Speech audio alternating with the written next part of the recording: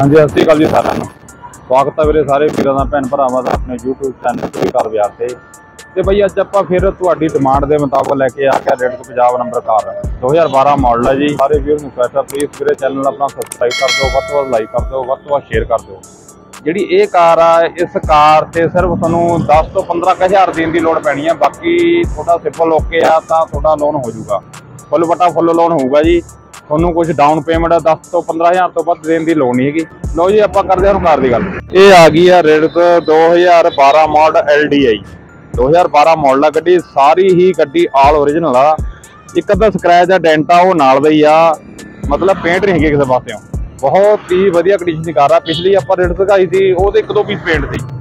ਤੇ ਇਹਦੇ ਟਾਇਰ ਹੈਗੇ ਨੇ ਤਕਰੀਬਨ 50 ਤੋਂ 60% ਫਸਟ ਆਪਾਂ ਨੂੰ ਇੰਟੀਰੀਅਰ ਕਾਰ ਦਾ।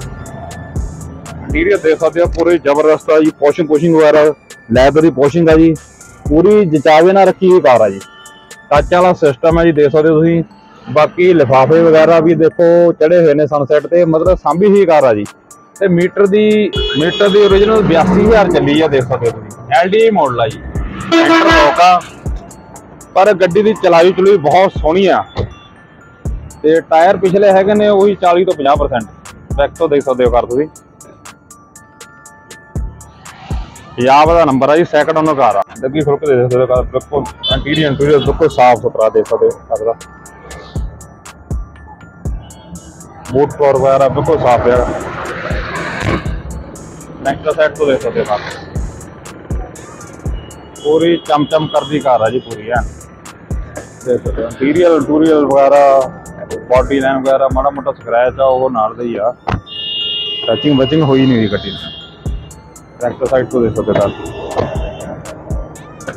ਪੈਂਟਰ ਤੇ ਇੱਧਰ ਸਕ੍ਰੈਚਿੰਗ ਆ ਬੰਪਰ ਤੇ ਤੇ ਫਰੰਟ ਸ਼ੀਸ਼ਾ ਨਾਲ ਦੀ ਹੈ। ਤੇ ਬੋਰਨਟ ਦੇ ਇਸ ਪਾਰਟ ਤੇ ਛੋਟਾ ਜਿਹਾ ਰੈਂਟ ਆ, ਇੰਨੀ ਜਗ੍ਹਾ ਤੇ ਇਹ ਕੱਢਿਆ ਹੈ ਸੁੱਕਾ ਹੀ, ਪਰ ਪੇਂਟ ਨਹੀਂ ਹੈਗਾ।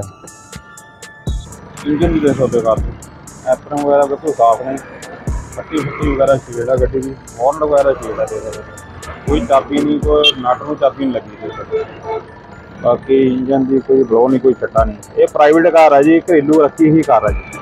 ਸਰਵਦਾ ਸਰਵਦਾ ਟਾਈਮ ਤੇ ਹੁੰਦੀਆਂ ਨੇ ਗੱਡੀ ਦੀਆਂ ਬਿਲਕੁਲ। ਮਤਲਬ ਚਲਾਈ ਚਲੂਈ ਪੂਰੀ ਸੋਹਣੀ ਹੈ ਗੱਡੀ ਦੀ।